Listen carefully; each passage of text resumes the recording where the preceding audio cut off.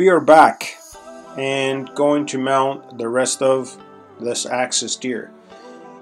Applying the hide paste all over the face because if you remember we didn't put any hide, hide paste on it and we just used some plastic wrap to make it slippery. And um, I'm putting a lot of hide paste around the face right now before I pull the skin over the head.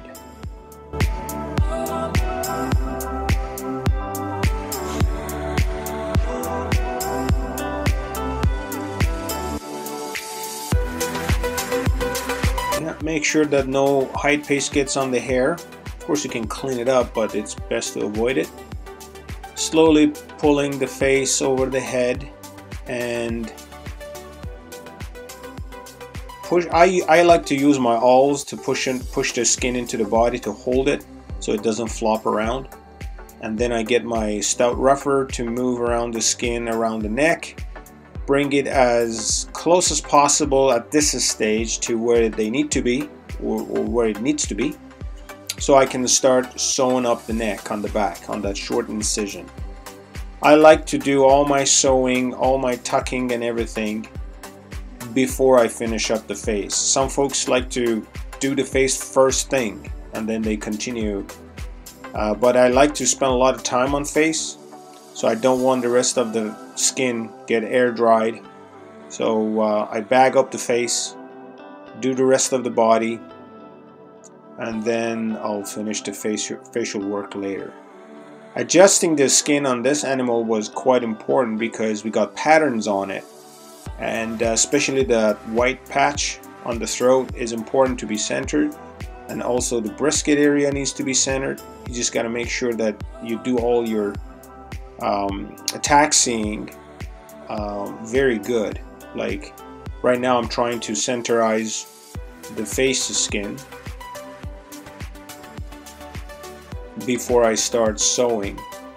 As much as it comes fairly close, I bag it up and put a pin, add more glue to the ears and ear clay part uh, parts, and then start sewing. So we're going to zip through this sewing part so we don't have to waste any time watching me sewing the skin. Okay, taxing keeps continuing. It's a short-haired animal, so it's a lot more critical compared to a long-haired animal.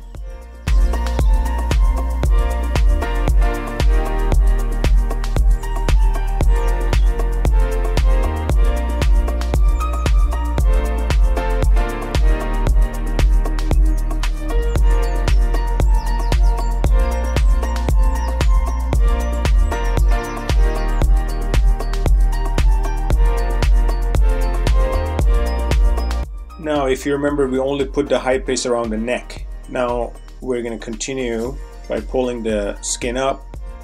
We're going to continue putting more hide paste on the back side of the mount.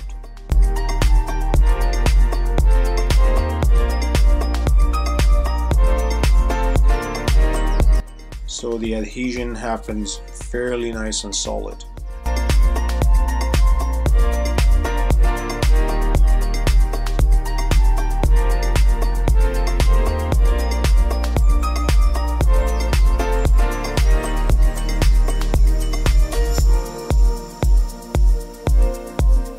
By pressing down on the skin, you're ensuring the, the contact between the skin and the hide paste. So it works really good.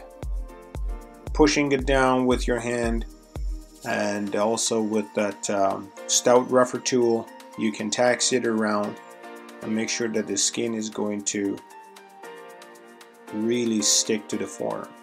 Now we're doing the same thing on the under part of the brisket and under the neck area.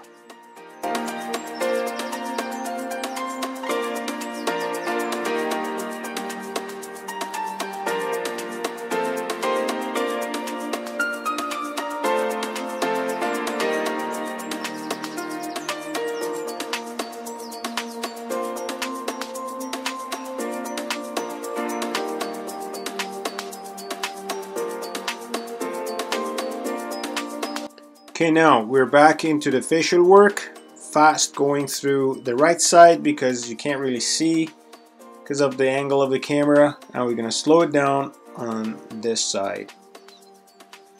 Use your smaller stout uh, Ruffer and uh, taxi the skin around the eyes. Make sure that your eyes are totally centerized around the eye and uh, the eye skin is centerized around the eye and then slowly push in your tear duct skin and also your uh, with your spatula tuck in all your eyelids slowly.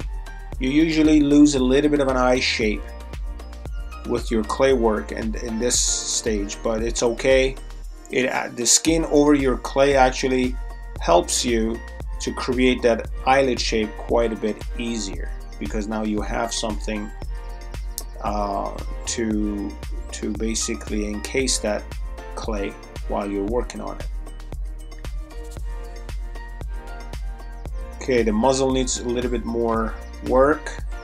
This is the part I like to use my thin roll of clay on the upper lip because uh, as I've mentioned in my previous videos this helps you to close the lips or bring them down and bend them over the lower lip and create a very nice finish when you're when you're finishing the mount. So a little bit more clay over the lip and a little bit more hide paste makes it easier for sliding the skin around and also it's going to be ready for tucking in the or actually here you'll notice a little bit of a brown leather attached to my lips. That's what I sew on because um, they cut out a lot of uh, lip skin.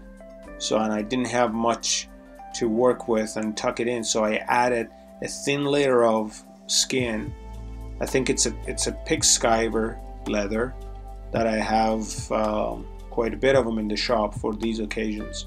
So when there is uh, lip, lip skin missing, you can easily add some to it. There is enough skin to show when the mount is finished, to show all the hairline and everything, but there's not enough attached to it to tuck it in. So all you, all you have to do is just add a little bit of a skin by adding, by sewing up a thin layer of leather to the, to the missing areas. So again, we're tucking in from the corners, a little bit in the front, and then the spots in between, making sure that um, everything is going in like symmetric. So we always do, or at least I'd better say, I like to do the uh, the upper lip first, while I have the mount upside down, and then a little bit of a roll of clay for the lower lip and then tuck in the lower skin the lower lip skin.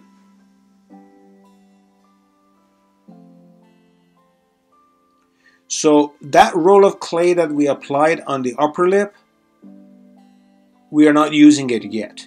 We have it still there the way we we basically put it on there we have not used it I'm still tucking in all the skins and I'm not using that clay, I'm not reshaping it or anything.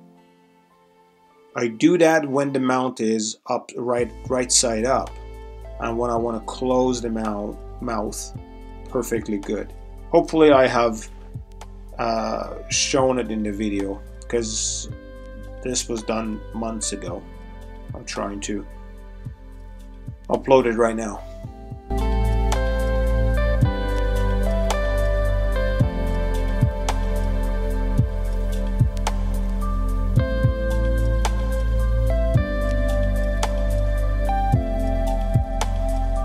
Okay, now the mount is right side up. I have not worked on the ears yet. If you see the ears are floppy, left like up and down. I think I forgot to film that that that part, but it's a pretty simple process anyway. You just have to move the ear butts to the right place and you can push a wire into the ears and hold them right there till they dry. But right now I'm tucking in the nose skins and of course um, I like to put a couple of pins in here and there and then push my plastic bags into the nostrils because they help the skin stick to the sides inside of the nose very well and they dry properly. So when we pull them out, we have a perfect transition from skin to the form for doing our epoxy work.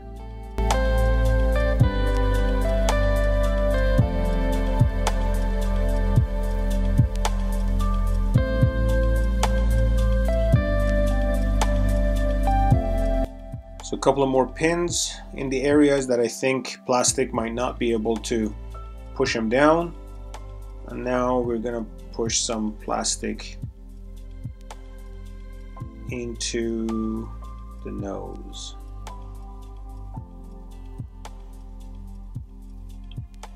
We are coming to an end for this segment too. As I said, um, adjusting the placement of the ears apparently are not videoed. I don't know what happened. I can't remember. The video was made like a few months ago. Anyway, I hope you enjoyed this video. While you're watching the rest of it, uh, I thank you very much for watching the video all the way till the end. If you like it, please hit that like button and subscribe for more weekly videos and share it with your friends. That helps me going. And uh, we will see you this week or next week with more projects. Have a great day.